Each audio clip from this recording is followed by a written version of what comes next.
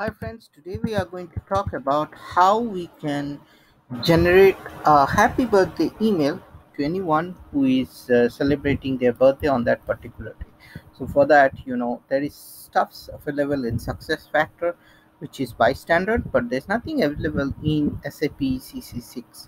So if you want to do something, you can just copy this program and uh, I'll paste this program in the uh, video description and you can use it. So uh, after you paste this program okay just ask an ABAPer to do this. You execute and you click trigger birthday.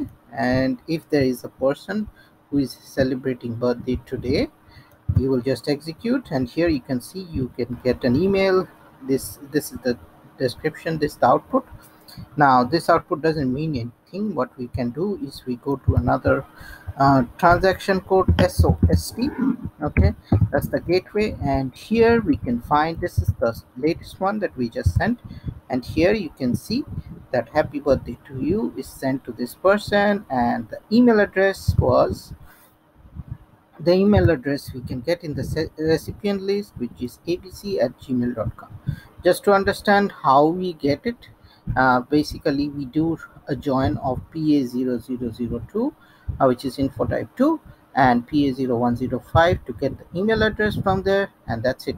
This code does this and you just need to run this program in a batch mode at probably 3 3 a.m in the in the night okay? So that they get this uh, email uh, when they open their uh, desktop or their phone at 5 or 6 okay that would be nice.